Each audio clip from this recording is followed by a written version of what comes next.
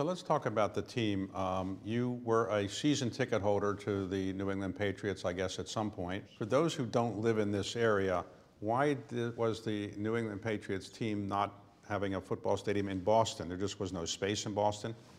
When I decided to pay the highest price for any team and not let the team move to St. Louis, I called the then governor the night before because I made this huge commitment, paid the highest price.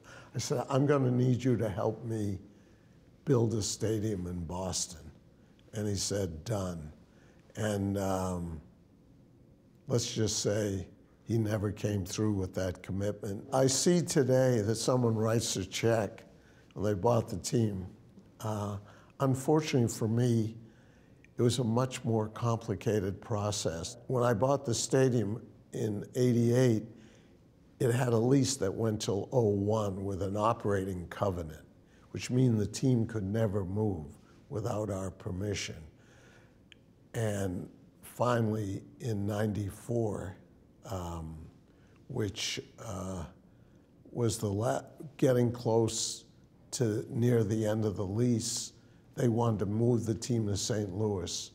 I wouldn't let the, the James Orthwein, who owned the team, he was part of the Bud family, Budweiser family, and they had a publicly financed stadium in St. Louis. They wanted to move it, and I wouldn't let them do that. Worked out okay for you? Uh, your late wife uh, wasn't was a little nervous, I guess. Before I went out to buy the team, um, from Orthwein in St. Louis. She said, What are you going to pay? And I said, Well, the right number is 115.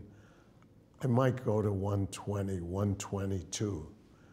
And when I came back and told her that I went to 172, she went nuts. And Orthwein's lawyer from St. Louis called me and said, we will offer you $75 million to let the lease expire and let us move. And he called me at home, and my wife heard that. She said, Wait a minute, you paid $25 million for this. He's paying you $75 million. You'll still own the stadium, you'll get another team. And I said, No. I remember when I was a kid, my team, my baseball team was the Boston Braves. They played at BU Field. They moved and they never came back. And I was heartsick.